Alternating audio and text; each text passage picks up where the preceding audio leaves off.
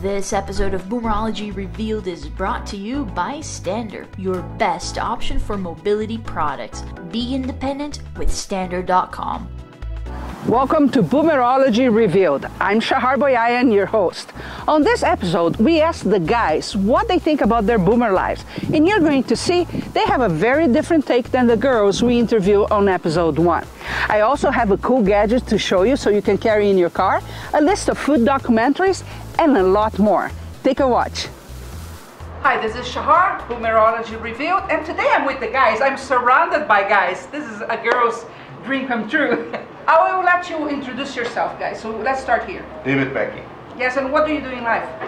Well, I ri- retired in 2000, and that got boring really quick. So I, I'm a serial entrepreneur, but I also volunteer with SCORE. I do a lot of uh, counseling of small businesses, and I also teach social media. So uh, I'm actually busier than before I retired. And my name's Rick Town, and I'm an account executive with Alpha Graphics. And I'm also an ambassador with the Murray Chamber of Commerce and involved with the Sugar House Chamber of Commerce. I'm Scott Romick, and I'm with uh, Nationwide Insurance. About the most interesting thing I'm doing right now is training for the Remax World Long Drive Championships coming up here in a few months. Hi, my name's Steve Belanger, and I own uh, JT's Marketing and Promotional Products. And uh, looking forward to this discussion today. Nice. You know, boomers have been called the me generation, the crazy ones, the prophets, many things, right? But my question to you is are you guys proud of being a boomer or not? Of course. Well, yeah, Yeah? Proud of being the crazy ones. The crazy ones. proud that we're still here. I, yeah, I'm, I'm proud to be a boomer on this side of the grass. Uh-huh, that's very true. That's it. Many are not so fortunate. Do you think we are aging, the, the boomers want to be younger all their lives? What, what's your take on that? Or are we just trying to be healthier as long as possible? Yeah, personally, I'm going kicking and screaming. I'm trying Right. to do everything I can to stay as healthy as I can and, and to keep being active and keep learning, taking some of these continuing education classes. Um, really just fighting it every step of the way. Aging's it's a surprise to me because I'm still feeling like I'm a 17 year old kid, Mm-hmm. and whenever I walk into the bathroom and see this old man in there, it scares the heck out of me. Yeah. We don't feel our age. That that's the commonality No, you with don't. this generation, right? And I don't, I don't see age until I look in the mirror. And then I'm like, okay. It's a scary thing. Hair's isn't gone, hair's turned different colors, and then it, it's. And they grow out of your ears and your nose and you. how, how, how much does it really bother you guys? This? There's times when you think about it, and then you think about there's actually mortality, and then you start doing the numbers, and it's like, hmm. Ooh. hey, you know, Grandpa's already gone, my dad's already gone, and I'm still here, so, you Well- know, For someone that's actually had the so-called death sentence, I mean, I've been given 12 months to live six six years ago, and three times I ran away from the grim Reap- grim reaper, but. uh, Just getting up in the morning makes you more grateful. You have a whole different look on life. You really do. And I think that uh, even though we are aware that that gruesome day uh, will someday come, um, we're living more like it's not. I think positive attitudes are, in for the most part, larger than they once were. I wish I had that perspective, and I think probably some of your experiences have, have brought you to that. I'm, I'm almost looking at this thing going, gosh, if the average age is what 78 for a male, you know, I've, I've got less than 30 years left to, you know, I got 100 years worth of stuff to do, and so, I- you know, you start feeling like you've really got to start moving really fast. I've scheduled appointments for 2052 just to make sure I've got a reason to be around. what about you, Steve? You know, I, um, I'm just trying to uh, focus on uh, doing healthy lifestyle things, and uh, my dad's uh, into his 80s right now, and he's living a good lifestyle. So uh, I'm just hoping for the best for me and uh, my wife and family. So looking forward to maybe enjoying uh, some grandchildren, hopefully in the near future. So. That's good. That's fantastic. You know, I think Yeah, I, I think Scott, the good side is we are actually supposed to leave way beyond our 90s. Okay, Well, so demo- you do have The about 50 demographics show years. that there are more centenarians Yes. nowadays than there ever have been. That's Yeah. great.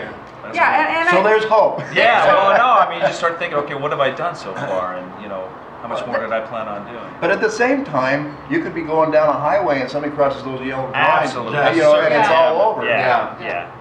I, I think I think we all share this. Uh, what am I going to do this next phase? We we understand we are in the winter of our lives, but I think as boomers we are going to make this a very fun winter. Besides health, what are the challenges that you think you face or people face when they are in this phase of their lives? And I think we talked before about something. We did. Yeah. uh, about age discrimination when you're with a company like I was for quite a long time.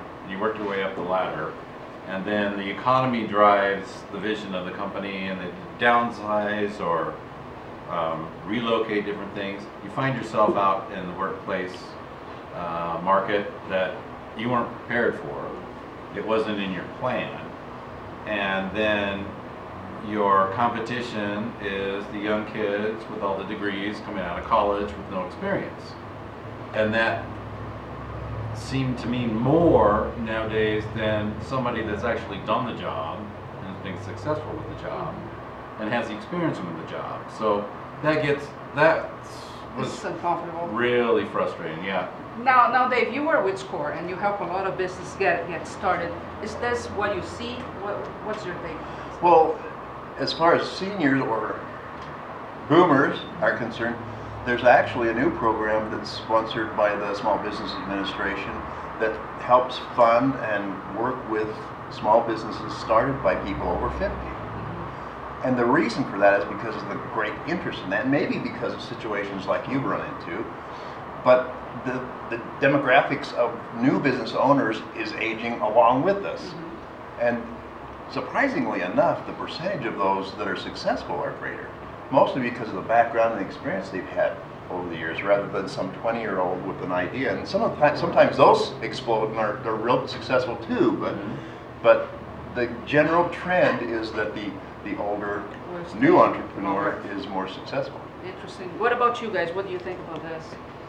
Or have you experienced at all? Yeah, the kind of jobs that I've looked for when I've had to change jobs have, haven't lent itself quite so much to uh, an age discrimination situation. You notice it, um, you, you know it's there, and and you want to you want to just hey, you know, I I understand it's frustrating for the younger people because they don't have the experience and they say, hey, I've got all this education, give me a job, give me a chance. How am I supposed to get experience? And at the same time, you know, yeah, maybe we haven't gotten the latest uh, and greatest in the in the education department or what's just coming out, but we're adaptable. We've had the experiences, you know, so we understand what it takes to learn something new. I see. And Steve, you have been an entrepreneur most of your life, right? Or have Yes. you ever faced? Do you hire people any age, or how is it? I hire people Now based. he's in the hot spot. I hire people based on talent and what the right position is for the, uh, uh, you know, the right position and the right person in that position that I feel is going to help grow the company. I'm just looking for the best person for that best particular position. Okay, you know, it's interesting because you talked about the young ones coming. Um, we, we know, we tell, we say millennials have a sense of entitlement, but we, on the other hand, we are called the me generation, a very self-centered generation. Do you agree with that or do you disagree? Are you self-centered or what? I know I am. don't know. I think, um, boy, that's tough to say. I don't know that, and this is going to sound, but I don't know if I am in particularly, but I think that we're short-sighted. Um, I think we're short-sighted in how we've dealt with our environment, um, how we're letting things go in politics, how we're, you know, as a country going so far in debt. Um, and some of those decisions aren't really up to us, but they're influenced by how we spend our money. And I think, you know, I think we have had some impact and, and hasn't all been positive. Positive, yes, I agree with you. Well, you know, I think the important thing to keep in mind is is uh, you know doing our best and and um, you know, there's a huge community amongst us, and uh, sometimes thinking outside yourself uh, and uh, being part of the community and, and doing what you can, making decisions uh, in So would you say more self-conscious than self-centered? Yeah, I, I think uh, as we age and our responsibilities with children change and, and things of that nature, and we start having uh, free time, we start deciding what are you going to do with that free time, and, and you, so you start looking at things, uh, where can I give back, and and how can I participate, and Well- so. Harvard did a study several years ago where they followed the lives of several people from childhood through adulthood and followed their careers, and a number of them were highly successful at the end of, or near the end of their lives as they were getting older. Every single one of them said that what was most important to them was their relationships with their loved ones. So we work really hard. I think I think the me generation, no different than any other, as we mature, we realize it's not all about me. You know, it's good that you said that because in, in the book The Fourth Turning, they actually say that the, the boomers, they were the crazy ones, right? So at the beginning of our lives, we were crazy and we, we did things that we wouldn't be comfortable saying on camera, right? But now, on our winter, we are really worried about the legacy that we are going to, to leave. And that's when we think, okay, what's really important, important and what really matters. With this new generation coming up, it's interesting because at the beginning, yes, you know, people over 50 were being laid off and the new young ones were being hired and that, that kind of switched a little bit because it's very difficult to deal with them. And why? Because they haven't not only had the experience like you said, but also they don't they haven't learned how to fail yet. Right? Yeah. They, they live in a different kind of school system and there is no failing. And if there is no failing, you cannot create leaders that don't fail. Do you agree? Yeah. Okay, so now talking a little bit about health. Uh, you just went through a challenging time of your own. Have you talked to your family about this? Okay, kids, someday I'm going to transition. Have you have you had, you know, frank conversations, or are you still avoiding I, that? I, I never talk about the transition. Okay. it's not one of my favorite topics. Uh-huh. Um, and we, we, we talk about our, you know, how volatile we are health-wise and the things to watch out for. In fact, my wife is a huge health fanatic. You know, she tries to stuff greens down me for breakfast. but, um, and she's successful much of the time. But uh, no, I mean, You don't talk. yeah, yeah. I don't like, I, I like to dwell on things that are positive and, and moving forward. And if I die never realizing that the death was coming, then I'm good. Okay, good. And do you do you guys still have parents alive? Yes. You do? Do you? Yeah, my mother. I have my mother too. My you mother. you do you? No, no. Ha, uh, do you guys talk about these Oh, sure, topics sure. with them? Yes, How we- is it? they've initiated the conversation. They did? But I think as a child, you don't want to think uh, of your parents' demise, but uh, they've initiated the conversations and told us what their wishes are and how they want to be taken care of if, if uh, for some reason they, they lose some faculties. But, um, you know, it's something we've done informally with our kids, but, you know, my kids are still fairly young, so um, we're uh, How old are your kids?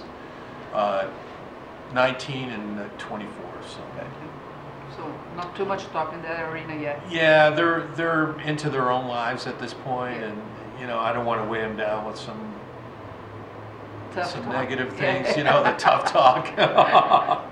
So anyway, my father passed away about 10 years ago and um, you know I, I think she's probably communicating this stuff with my sister but with me you know it's funny how your conversations with your with your parents and i can kind of see it with my friends now too the conversations change a little bit from the price of gas and how's the weather to yeah did you hear about so and so they've got this or i've been to the doctor and you know and it's more a there are more conversations about her health now than probably anything else that we're talking about uh, with regards to what's going on in her life. Okay. Uh, so she's having to make adapt uh, uh, adaptations to, you know, what she does, what she eats, you know, when she does things. Um, but I hear that with with some of my friends as well. You know, I try to talk to my mother. She diverts the conversation every single time. What about you? We've kind of talked about it. My daughter's 24. What concerns us is the fact that she's an only child. And so if something happens to her mom or myself, then I'm always thinking about that. Uh, I think my wife does too.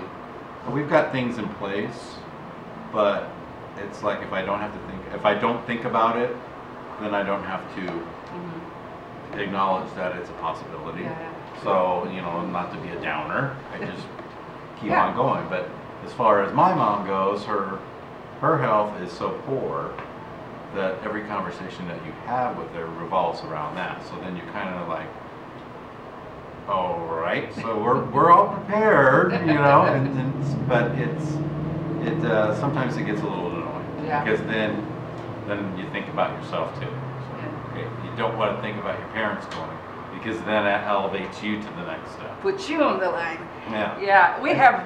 I have the opposite problem of you. I actually have six of my own children, and I've been, I'm a slow learner, married three times, so I have a lot of stepkids that count up to 11. Uh, boy. Fortunately, most of them are older, but I'm a slow learner, so I have a 39 year old on down to a 14 year old. So we still have a couple at home, and I'm 61 years old.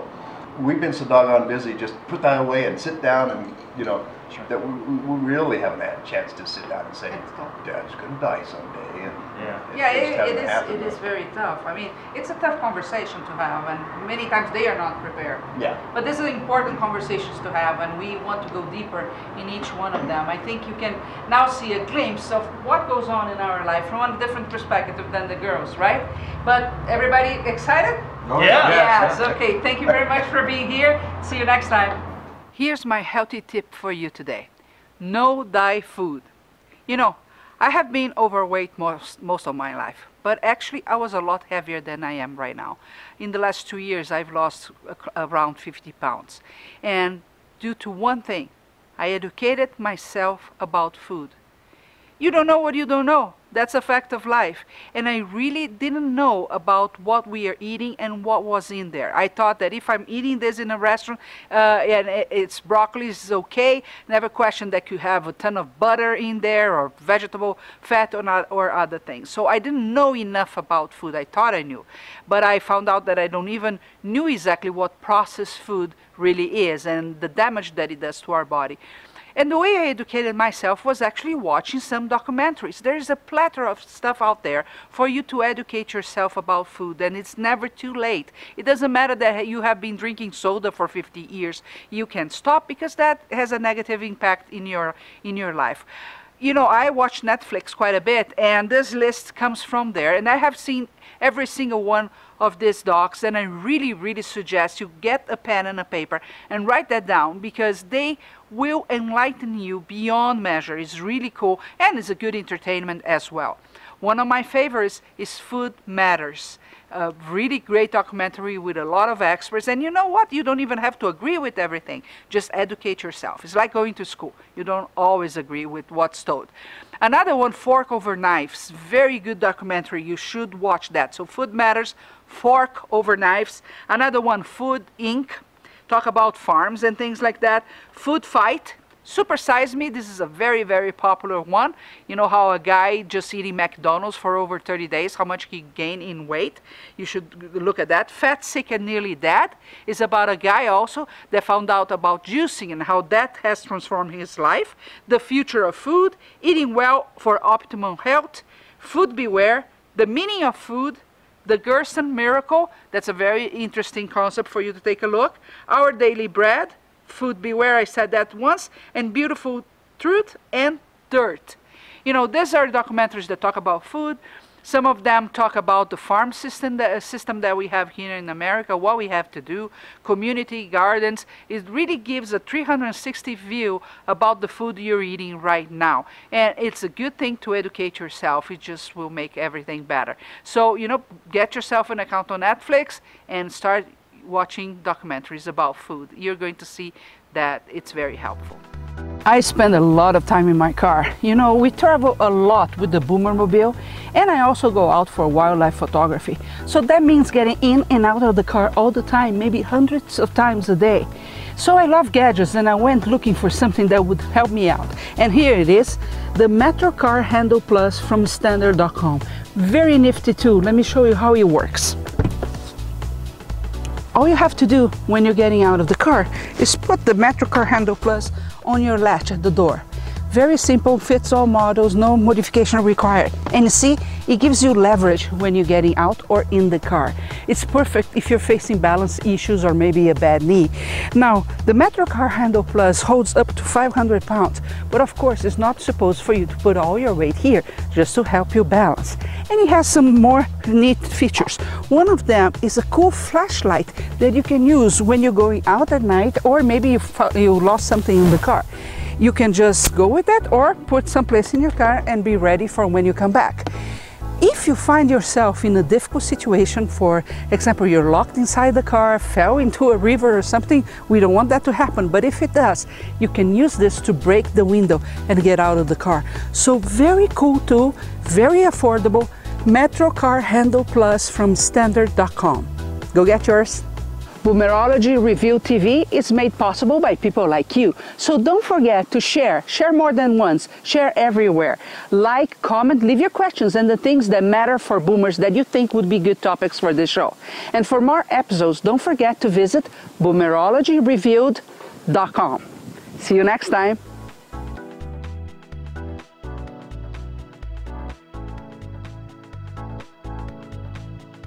This episode of Boomerology Revealed is brought to you by Stander, your best option for mobility products. Be independent with Stander.com.